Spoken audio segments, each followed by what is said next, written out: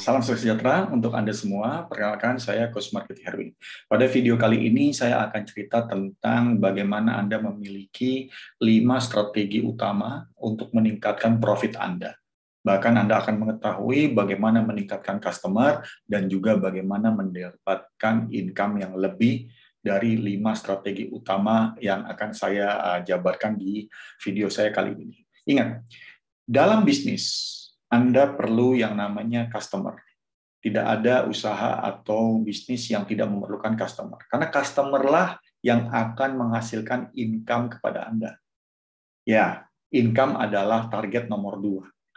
Setelah mendapatkan customer, Anda mendapatkan income. Dan yang ketiga adalah profit. Karena di income Anda ada profit. Mari kita bahas satu persatu bagaimana Anda mendapatkan customer. Ingat, Customer tidak didapat dengan uh, begitu saja. Ada dua strategi utama yang bisa Anda gunakan untuk Anda bisa memperoleh customer di perusahaan Anda. Yang pertama, bagaimana Anda uh, mendapatkan leads, mendapatkan prospek di uh, perusahaan Anda.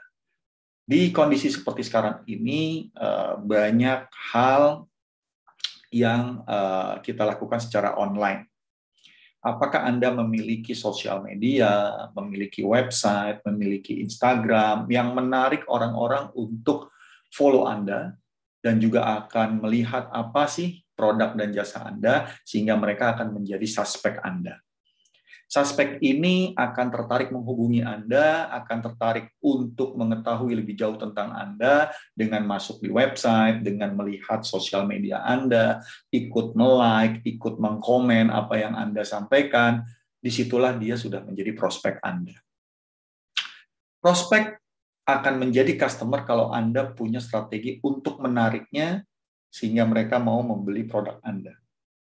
Strategi ini yang paling penting adalah conversion rate strategi. Karena begitu Anda memiliki strategi ini, jumlah prospek yang sangat banyak yang selalu ada di sekitar Anda bisa Anda grab, bisa Anda konversi menjadi pelanggan. Kenapa dia jadi pelanggan? Karena membeli dari Anda. Baru kita namakan pelanggan.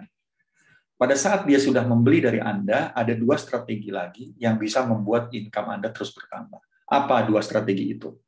Yang pertama untuk membuat pelanggan itu membeli lebih, kita namakan average dollar sell. Apakah saat ini Anda punya strategi untuk setiap transaksi yang terjadi, pelanggan itu selalu membeli lebih? Dan Anda perlu ukur berapa rata-rata nilai rupiah transaksi yang terjadi dari setiap pelanggan. Jika rata-rata transaksinya meningkat, otomatis nanti hasil income Anda juga meningkat. Tapi kadang-kadang kita tidak pernah ukur dan tidak pernah memahami hal ini. Ini menjadi ukuran yang paling penting, teman-teman. Nah, yang kedua, bagaimana strategi Anda untuk dia balik kembali. Dalam satu bulan dia mungkin balik dua kali, tiga kali, seminggu sekali, jadi empat kali. Sekali beli dia uh, mengeluarkan uang lebih. Kenapa? Karena Anda menawarkan yang namanya cross-selling, ya, Anda menawarkan upselling produk. Ingat, anda pernah ke uh, mungkin restoran fast food gitu ya, Anda ditawarkan untuk upsize, itu adalah salah satu strategi mereka untuk meningkatkan uh, transaksi yang Anda lakukan dalam pembelian yang uh, Anda uh, lakukan. Nah, hal-hal ini ya dari customer yang Anda dapat, rata-rata beli dia, dan berapa kali dia bolak-balik, perkaliannya akan menjadi uh, income perusahaan Anda, akan menjadi revenue di perusahaan Anda. Ingat, Hal ini ada strateginya. Hal ini perlu Anda tingkatkan. Ya, yang berikutnya di income Anda, revenue Anda ada profit. Bagaimana strategi profit margin selalu Anda naikkan dengan beberapa strategi yang nanti akan Anda selalu perhatikan dari coaching program yang Anda ikuti.